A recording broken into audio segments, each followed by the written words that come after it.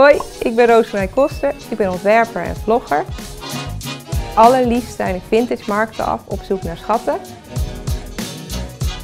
Alles wat ik hier vind ga ik thuis nog even updaten. En omdat dit zo leuk en makkelijk is, ga ik jullie laten zien hoe je dat zelf kan doen. We gaan vandaag statement oorbellen maken.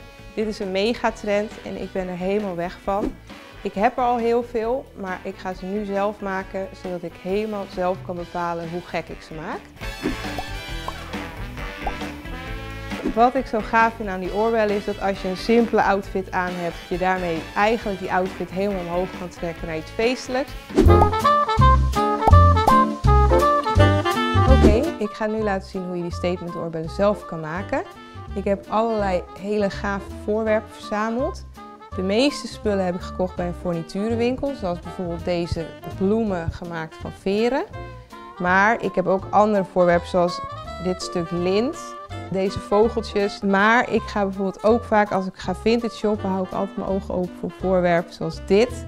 Wat eigenlijk als corsage bedoeld is, maar wat je dus ook makkelijk als oorbel kan gebruiken. Ik kan me ook voorstellen dat veel mensen behoefte hebben aan een ietsje eenvoudiger uh, model. En daar zijn deze knopen heel geschikt voor.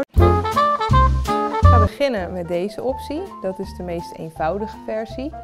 Minst extreem.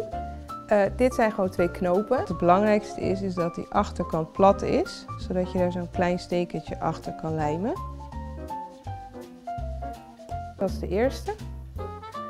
Die zit er ook op. De stekertjes en die lijm heb ik allebei gekocht bij een kralenwinkel. Volgens mij heb je ook in elke stad wel een kralenwinkel waar ze ja, kralen kopen. Jezus. Zijn eigenlijk strijkbadges voor kleding. Maar wij gaan er dus nu die wat grotere stekertjes achter plakken. En dan worden dat dus oorbellen. En omdat ze zacht zijn, denk ik dat deze echt heel lekker dragen.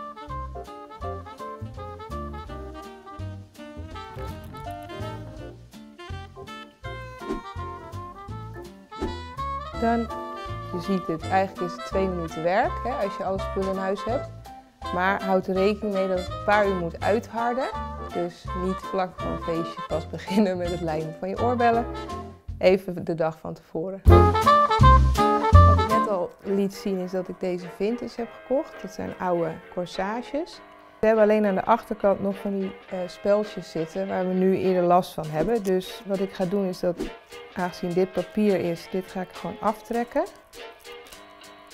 Zorgen dat er niet te veel papier mee komt. Kijk, en dan heb je eigenlijk gewoon weer een mooie gladde achterkant om mee te werken. Wat ik belangrijk vind is dat ze qua hoogte op hetzelfde punt beginnen. Dat deze dan wat langer doorloopt vind ik niet erg.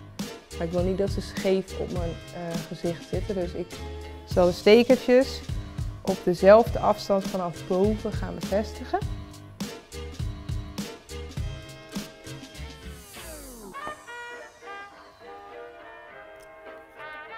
Deze afstand is dus nu hetzelfde.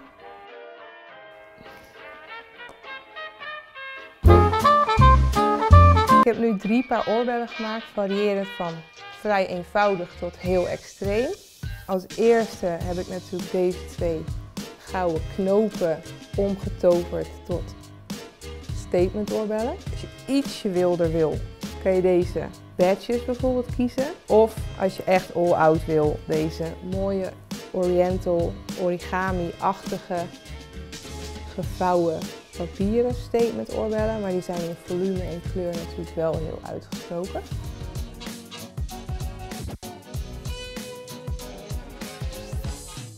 Ik zou zeggen, do it yourself.